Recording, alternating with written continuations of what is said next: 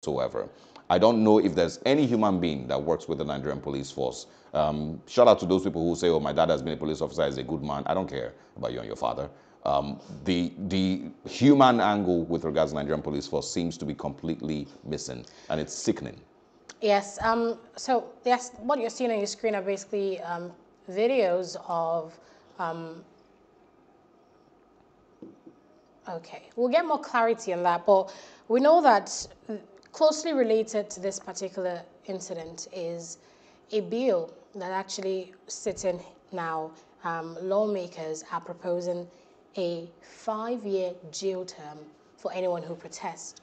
So if this scales through, these parents who are protesting the release of their children would be in jail right? That's what's, you know, that's basically the, the, meat of the story. And it, it was sponsored so there's a, it was sponsored by Representative Emeka Chinedu Martins, um, representing PDP Imo. So he's basically proposing a five-year jail term for unlawful protesters in the country. This is still through first reading at the House of Representatives. There's still a few more hurdles for, it, for this to jump, but if it does pass, if you protest that there is no light and you've not had light for the past 10 years, if you protest that the price of fuel in Nigeria is too expensive, if you protest that your kids are being kidnapped, you might go to jail. So